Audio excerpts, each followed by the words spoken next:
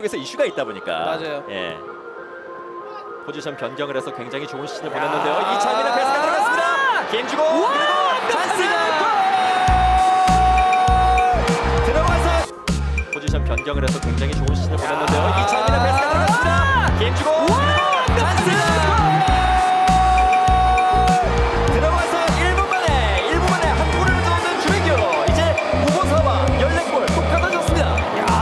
제주 진짜 잘 만드네요. 예.